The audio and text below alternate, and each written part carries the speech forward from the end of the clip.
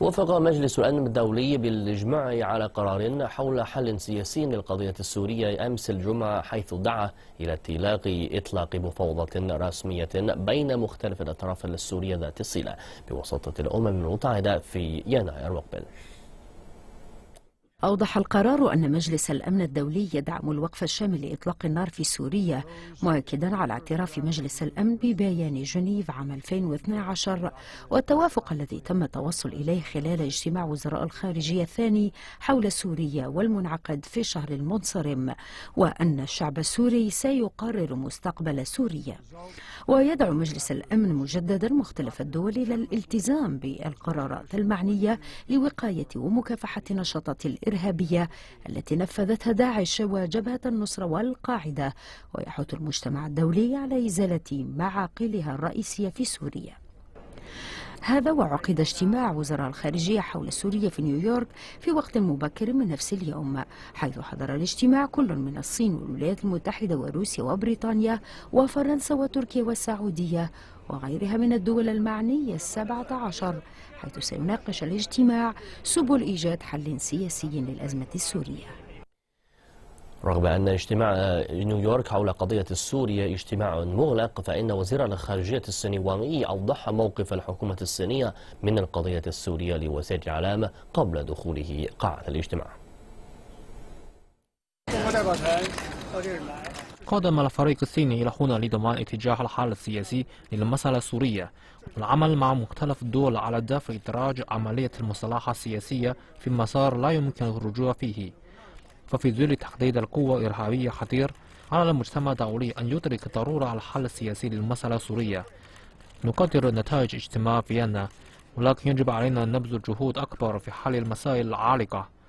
إن إطلاق المفاوضات ووقف إطلاق النار وأعمال عنف مهمة أولوية لنا. لا يمكن إجراء مفاوضات السلام دون وقف إطلاق نار. تأمل الصين من الأمم المتحدة أن تلعب دورا أكبر في العملية السياسية في سوريا. عقدت الهيئة العامة للمفاوضات التابعة للمعارضة السورية اجتماعا في العاصمة السعودية الرياض أمس الجمعة لمناقشة المواضيع المتعلقة بحل الأزمة السورية في أسرع وقت ممكن. مع إعلان تشكيل وفد تفاوضي كما أكد المنسق العام للهيئة على أن موقف المعارضة السورية إزاء رحيل الرئيس بشار الأسد لن يتغير. ترأس رئيس الوزراء السوري السابق رياض حجاب اجتماع أمس الجمعة بعد انتخابه منسقا عاما للهيئة العامة للمفاوضات التابعة للمعارضة السورية في مؤتمر الرياض الذي تم عقده في الفترة ما بين التاسع والعاشر من الشهر الجاري حيث أكد حجاب في مؤتمر صحفي عقد عقب الاجتماع على أن ممثلي المعارضة قد ناقشوا الخلافات بين الأطراف في الاجتماع معلنا عن تشكيل وفد تفاوضي للمشاركة في المفاوضات المقرر عقدها الشهر المقبل مع تحديد أعضاء الوفد.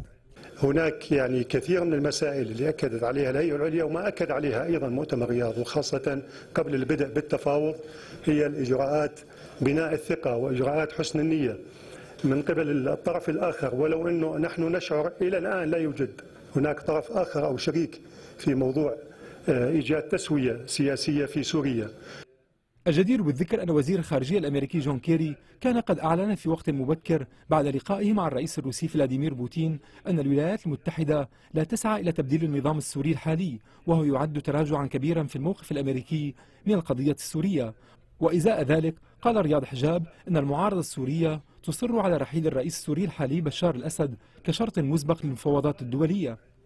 كان الخيار الأول بالنسبة له هو الخيار السلمي.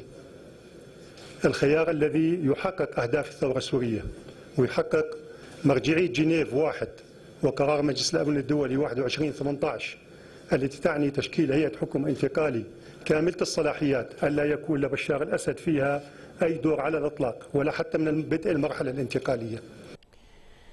أعرب الرئيس الروسي فلاديمير بوتين عن موقفه تجاه الوضع في سوريا قائلا إنه يجب تحقيق حل سياسي للأزمة السورية في أسرع وقت ممكن وذلك يحتاج إلى المفاوضات بين الأطراف المعنية لدفع عملية حل سياسي. كما أكد بوتين مجددا على أن مصير سوريا يقرره الشعب السوري وحده. نعتقد أن الشعب السوري هو الذي يقرر من سيرأسه وبأي معيار أو قانون. وأريد أن أؤكد على مسألة هامة هي أننا ندعم دعوة الولايات المتحدة بما فيها مشروع القرار الذي ستقدمه إلى مجلس الأمن التابع للأمم المتحدة. وقد أحضر وزير الخارجية الأمريكي معه نص هذا المشروع خلال زيارته مؤخرا. نوافق على هذا المشروع بشكل عام وأعتقد أن الحكومة السورية ستوافق عليه أيضا بعد قراءته. أضاف بوتين أن التنظيم المتطرف يشكل تهديدا للجميع ويجب تسوية هذه القضية في أسرع وقت ممكن. ولم تشكل عملية عسكرية روسية في سوريا حاليا أي خطوة مالية على روسيا فطالما يحتاج الجيش السوري الحكومي إلى الدعم فسيواصل الجانب الروسي دعمه. يرغب البعض في التعاون مع الحكومة السورية ويعارض البعض الآخر بحزم التعاون معها. فيجب على الأطراف المختلفة أن تكون لديها عزيمة لتقديم بعض التنازلات. لقد أوضحنا موقفنا سابقا وهو أننا سنواصل الضربات الجوية لدعم الجيش السوري الحكومي طالما تحتاج سوريا إلى دعمنا وسنواصل هذه الضربات. فضلا عن مساعدة جيش سوري حكومي في ضرب التنظيم المتطرفة قال بوتين إن روسيا ستقدم نفس المساعدة إلى المعارضة السورية التي تحارب التنظيم المتطرفة سنقيم اتصالات مع بعض أطراف المعارضة السورية. لا شك أنه يجب عليها أن تكون غير متطرفة وتتخذ من محاربة التنظيم المتطرف هدفا أوليا بالنسبة لها. سنقوم بالضربات الجوية لمساعدة هذه المعارضة. وهذه الوسيلة لا تختلف عن وسيلتنا في مساعدة الجيش السوري الحكومي. أهلا بكم مجددا أكد الأمين العام لحلف الشمال الأطلسي الناتو يانس ستولتنبرغ أمس الجمعة في بروكسل أن أعضاء الناتو اتفقوا في اجتماع وزراء الخارجية على إرسال طائرات وسفن إلى تركيا لتقوية الدفاعات الجوية على حدودها مع سوريا.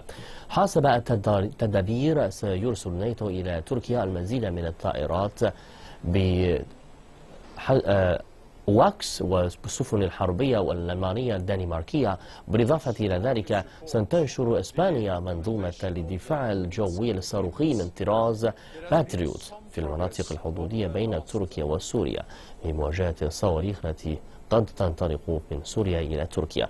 وقال ستوتنبورغ أيضا أن اشتعالات الناتو هذه الدفاعية لكن المصادر من الناتو كشفت أن هدف إجراءات الناتو الرئيسي هو تجنب وقوع حادث مماثل لإسقاط المقاتلة الروسية على أيدي القوات الجوية التركية. وأفادت إحدى وسائل الإعلام العراقية الرسمية مؤخرا أن القوات الأمنية العراقية حققت تقدما باتجاه استعادة الرمادي حاضرة محافظة الأنبار حيث نجحت في استعادة بعض ضواحي المدينة.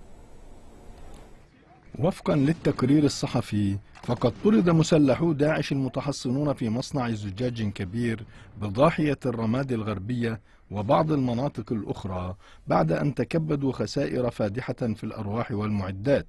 ولكن مركز المدينة ما زال تحت سيطرة مسلحيهم الذين يتراوح عددهم بين 250 و 300 ووفقا لمصدر في الجيش العراقي فقد قطعت القوات العراقية خط الإمدادات الأخير لداعش نحو الرمادي في الشهر الماضي.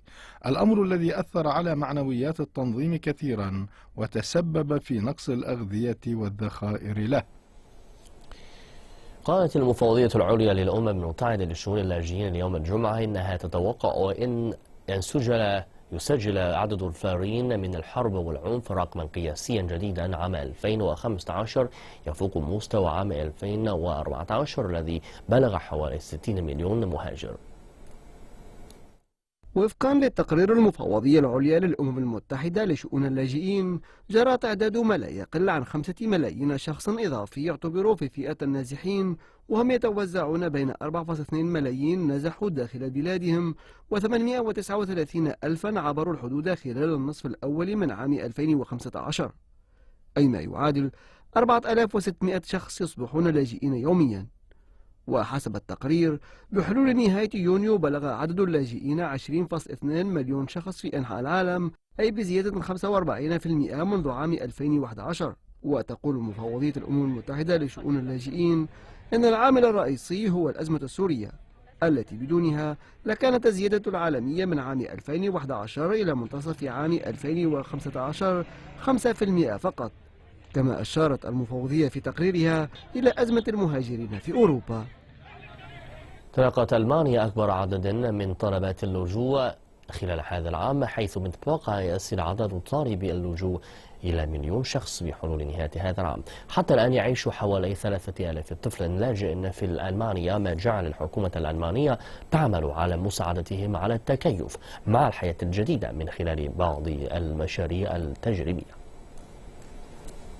قامت الحكومة الألمانية بتخصيص دروس للغة في بعض المدارس الابتدائية المحلية. وبدأ تنفيذ هذا المشروع في نوفمبر الماضي في مدينة كولونيا ونوي أولم وبرلين. وسيشكل طلاب اللاجئون وطلاب الألمانيون مجموعة الصداقة. وقال خبراء تعليم الأطفال أن القضاء على أي نوع من الخوف هو ضروري. كما أن اختلاط أطفال اللاجئين مع الطلاب الألمانيين هو أمر مهم للغاية. وفقا لملاحظة المعلمين بدأ الطلاب بإقامة صداقات مع بعضهم البعض أطفال اللاجئين والأطفال المحليون من فئتين مختلفتين أصبحوا أصدقاء خلال يومين من بدء المشروع على الرغم من أنهم لا يعرفون بعضهم البعض من قبل إذا كان الأطفال مهتمين بما يفعلونه سيتعملون أكثر وأفضل من خلال المشاركة في هذا المشروع الطلاب الذين أقوموا بتدريسهم متحمسين وإيجابيين. مقارنة مع دروس وكتابة الكلمات في حجرة درس سيتعملون أكثر من هذا المشروع.